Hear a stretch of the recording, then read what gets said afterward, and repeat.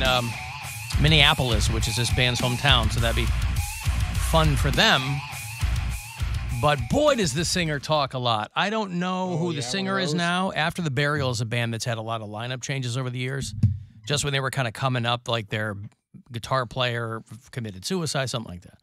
This dude was talking in between every song. You know, over the pandemic, I realized, okay, bro, we all were quarantined, and you know, boy, he was talking a lot. Now, I think uh, I don't know. Maybe it's because you're screaming through all your songs. You got to catch your breath in between. There are plenty of bands that sound like that. They're not doing all that talking. So I don't know. Maybe they were. Maybe they were excited. I, maybe it was just excitement. I don't know. But the other guys in the band were like, "Let's let's play, man. You know, we're we're in an opening slot here. We only get you know maybe forty minutes or whatever. They were good, but the dude was talking a lot, a lot of opportunities because I was kind of posted up along the wall on the main floor because it was a sold out show and I missed the first band. So by the time I got there, the pickings were slim. And I don't want to stand. I'm not one of those people that stands in front of someone, you know. Um, so I kind of posted up against the wall there near the main bar and the main floor. So I still had pretty good eye line. But this dude gave me a lot of opportunities to walk uh, back and get a, get a drink. Chatting everybody up. So maybe it's just excitement. I don't know. This Saturday night, another episode of Two Hours to Midnight. It's our weekly metal show. I'm your host, along with Corey Roddick and Pat Butler. It is two hours of nothing but metal, all different kinds, stuff you guys request, local bands that will play for you. So if you're in a local band, you want to submit your stuff, make sure it's clean for air. Can't believe I have to tell people that, but I do. Make sure it's clean for air. And um, maybe it'll get on. Local music from Assault and uh, Vadiat this weekend, a couple of local bands and then just other stuff that uh, we dig and want to play. So you'll see the playlists on the Two Hours to Midnight Facebook page or at WMMS.com. It is only a live show, there's no podcast version of it. So 10 to midnight on Saturdays. Hopefully, there's not going to be any goddamn Guardians rain delay or anything like that. that has jammed us up more than a few times. And the way these guys are playing, I'd hate to get uh, preempted for a Guardians game. But Saturday night, it's a 6:10 pitch here at home. So let's hope they're all done by 10 o'clock, so we can get to something good. They're play. They're getting the they're getting the pants beat off them around the corner by the Tigers again, Yeah. five to nothing, in the top of the sixth. They won last night, though. They, they can't get anything going against these Tigers. They won last night. Two to nothing. They won. Okay. a win's a win. Yeah, I know a win's a win, but I mean, if you're on the team, you're Tito. You're, he's like, yeah, there's no partying in the in the, Right. in the locker room these days. Yeah, we know. Better not be. Anywho, and listen, but Tigers on my wife's team. She's happy, but five to nothing. Come on, man. Anyway, Guardians um, doing that now. Off tomorrow. Still at home for this weekend. They'll play the Angels of Anaheim. If you're an Angels fan, and quite frankly, why wouldn't you be? Mm. I mean, they're okay right now. Shohei Ohtani. Yeah, number two in the West. Trout. Yep, It's a good team. that's right. They are a good team right now. They started off not doing great, but now they're they're getting it together.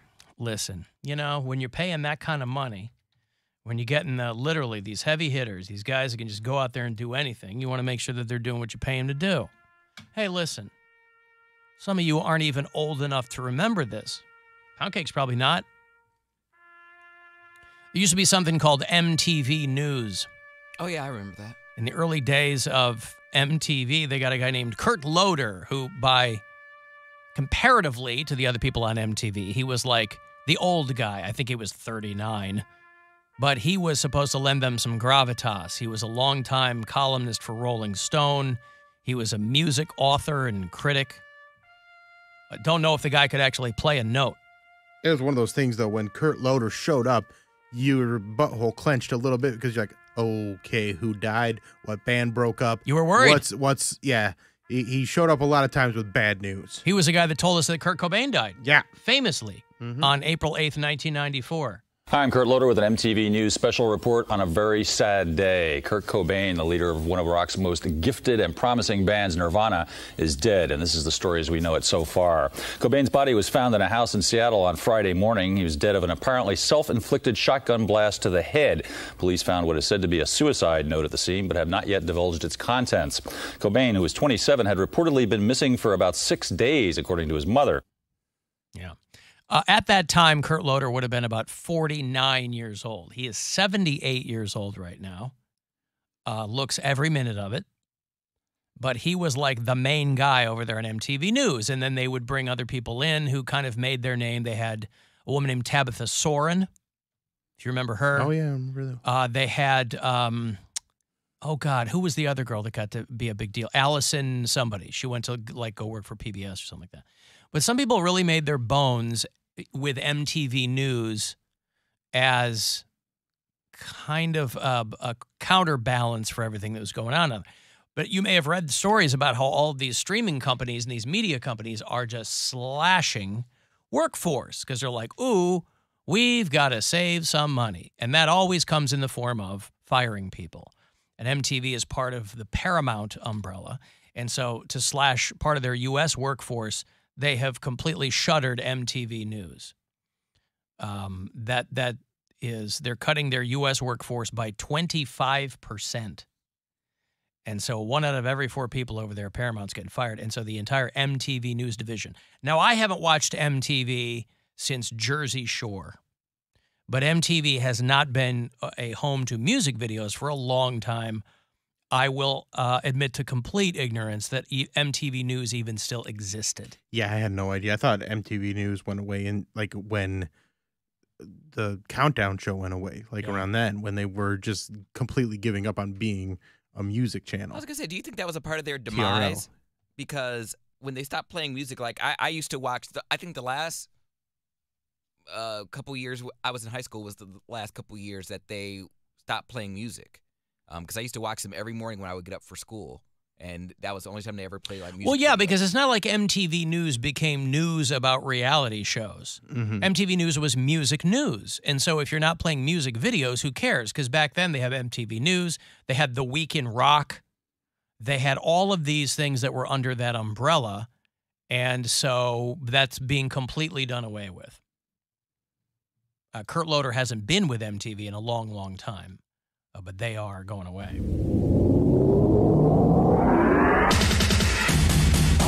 That was the intro. Yeah. You hear that? and You go, Ooh. Oh, hey, there's going to be some news coming. I'm going to learn something What's here. going on with Michael Jackson now? This is MTV News. For the first time since Wham toured Bruce Springsteen's getting remarried. Mm. What? here three years ago, George Michael will be playing outdoor stadiums in the U.S. on the Just That's what constituted music news. Michael, J- M- Rock and Roll Hall of Fame inductee, George Michael, will be playing. Imagine if you had told Kurt Loder in 1988, someday George Michael will be in the Rock and Roll Hall of Fame. I think that would. He be would have had a he would have had a Bill O'Reilly style meltdown right there live on MTV News. He would have flipped out. just announced final leg of his current tour. These are the October dates, and as you can see, with the exception of the Summit Arena in Houston, all the shows are at 50,000 plus. I don't know football what that means to play us Meanwhile, out. Michael's Monkey single has just arrived at the top of the Billboard chart, putting him in the rarefied company of Michael Jackson and Whitney Houston. Monkey single. What's monkey single? Hmm. What is that? What's monkey single? Just mon- monkey sing. oh, the song monkey. Oh, Yo, yeah. monkey. Yeah. I got it. Okay. I thought monkey single was something. The only other performers to score four number one singles from the same album. That's the news for now. Stay tuned for more music on MTV. MTV News. You hear it first. They did that Wiki Wiki Wiki, which was from Aerosmith and Run DMC's Walk This Way. But they also had another version that used Megadeth in it. And MTV was really slick, boy. They'd say, You hear it. And then they had the bass line from a Megadeth mm-hmm. song called Peace Sells, But Who's Buying? It would go doon, da doon, da doon. Remember that? Yeah. You hear it doon, da doon first. And Dave Mustaine said over the years, he goes, We never got a penny for, For that, that. from MTV because they stopped the riff Right before one they'd have to second pay. Yeah, before they, they'd have to they pay. know 'em. what they're doing. That is really Oh man, it's well, it's legal. Uh, it's That's fair use. pretty clever. It's fair use. But that's one of those things It's that also pretty scummy too. it is, I mean, it is scummy, but they know it, what they're I mean, doing. But also, did it help people become aware of that? No, Maybe. of Megadeth. yeah. No, you either knew about if you weren't watching Headbangers Ball, you weren't paying attention to Megadeth from Right. the MTV News. It wasn't like you could go back then and Google what's the bass line from in the MTV News outro. But anyway, MTV News, which none of us even knew was still around, is now not. So update your calendars accordingly. If you listen on iHeartRadio, uh, tell me where you do it. If you're out of state, let me know. Uh, Jessica listens in Manhattan. She's in Hell's Kitchen. Sean is in Indianapolis. Uh, Dan listens in Burgettstown, Pennsylvania, out by Starlake Amphitheater. Tim's in Grand Rapids. And Derek is in Houston, Mississippi. Hey gang, uh, listening to the show yesterday, had to laugh at the uh, baby uncle uh, statement. I am a father of three adult children, and oops, had a fourth uh, just a year ago, and I also have a grandchild. So my grandkid calls his uncle baby uncle. nice. Oops. Uh, yeah. Yeah. Uh huh. Oops. Baby uncle. It's real. Real life stuff. Boy, imagine that. You got grown kids. You go, oh, well, mm, okay. I mean, your kids have a gap, but it's not that egregious.